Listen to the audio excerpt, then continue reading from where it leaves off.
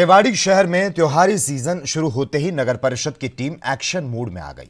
अधिकारियों ने बाज़ार में अतिक्रमण हटाओ अभियान शुरू कर दिया है।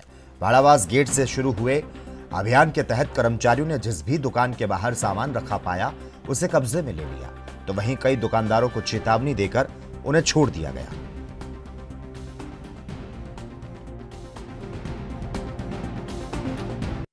देखो जी, अतिक्रमण की मुहिम चल रही है हमारी। हमारे पास चेयरमैन मैडम के सेक्रेटरी साहब के और एक्शन साहब के आदेश है कि शहर को अतिक्रमण से मुक्त करना है, जिसके प्रति ड्यूटी लगाई हुई है।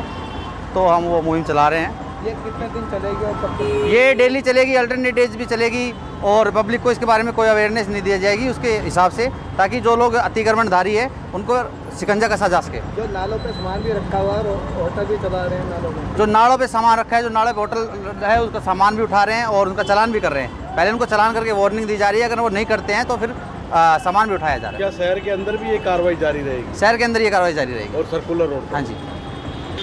कार्रवाई हमेशा जारी रहेगी जब तक अतिक्रमण रहेगा हमारा मकसद यही है कि शहर में अतिक्रमण हो जब तक चलता रहेगा ये ड्राइवर जब तक अतिक्रमण रहेगा। सारा अतिक्रमण मुक्त करेंगे। बिल्कुल मुक्त करवाना है वाले।